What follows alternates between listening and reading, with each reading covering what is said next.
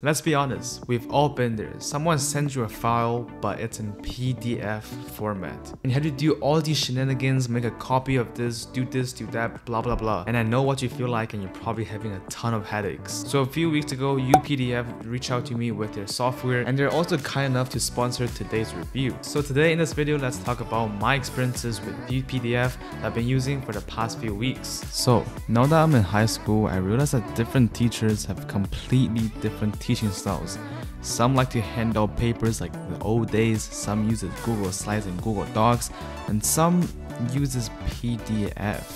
And I found that PDFs are incredibly hard to deal with, especially if you want to make some changes right on the spot. Alright, so I just typed in PDF in my Google Drive, and no way, so much PDF files.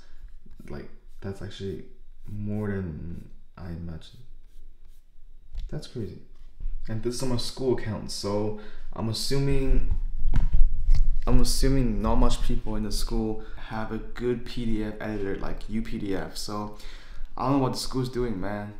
We all need this software and after trying out a lot of PDF editors, I realized that all the other editors out there just miss that one or two features that I'm looking for, but it's just not there. So I often have to figure out ways to work around that which is not that productive as you can assume. So when UPDF found me, I was super excited and this is definitely something I'm adding to my productivity apps folder, like a productive guru. I guess. UPDF is essentially an all-in-one PDF editor that you can view, annotate, edit, convert, sign, just basically anything you want to do with a PDF file. And you can really deep dive into this app to figure out some features, for example, like the AI assistant, which we're going to talk about later on in this video. And the best part is you can use it across all platforms with your just one account. So no matter if you edit it on a doc on your MacBook, you can still find it on your phone. Not to mention, it basically suggests all systems, iOS, Android, Windows, macOS, iPadOS, like anything all the devices you have. Now let me do a quick demonstration for you. So to open a PDF, just drag a file into the app and on the left sidebar you can basically see all the features like editing the text on it which is pretty basic and straightforward, form editing function where you can prepare a form and use the functions inside to fill the form and to add your digital signature, cover up any sentences that you don't need or cover up something that confidential with the redact feature. Also changing the orders of the pages if you happen to have multiple of them you don't want to switch the order. And lastly, you can also crop the entire page layout and so much more. I'm honestly just touching the surface of UPDF and I can already see how this really stand out and really have some really special features compared to all the other PDF editors out there. Actually, just a few days ago, I had to sign a contract for some really exciting projects that we're gonna uh, probably gonna see in the future. And obviously, I can't sign like on my MacBook, I can't just like trace on with my finger on the touchpad. So I dragged the PDF into UPDF and opened it on my iPad and I finished signing the signature like a boss and I can still open the exact same PDF that I just signed on my iPad on my MacBook. And obviously that's thanks to the cloud storage. Some other features you should know is adding a new text box, inserting an image, and also embedding a link onto the PDF which you can all find on the top row. And lastly, on the right, you can find specific words in the file, export the file in any format you want, PowerPoint, JPEG, PNG, like anything you imagine. And also share as a link or through email, etc, etc.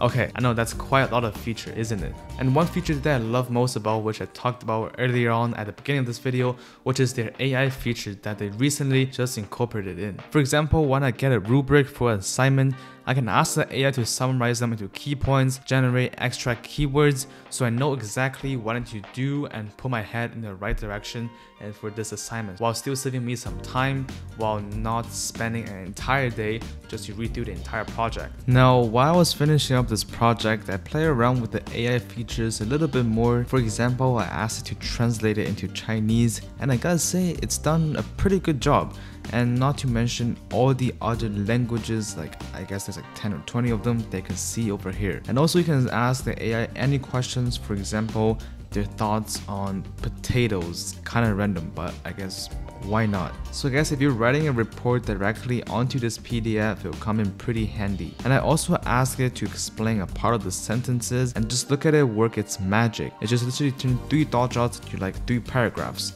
Oh yeah, and of course I didn't take any words from the AI to in my Phantom copies. Like, obviously I wouldn't do that, right? So with all that being said, I've already left the link down in the description with an exclusive 63% off discount, so make sure to not miss out on that. If not, you can still register an account for a free trial and whenever you want to and just to try out this software and I know that you're gonna love it. Once again, thank you UPDF for sponsoring today's video. Now if you want to see more videos like this, make sure to leave a like, drop a sub, yeah, hopefully I will see you in the next video.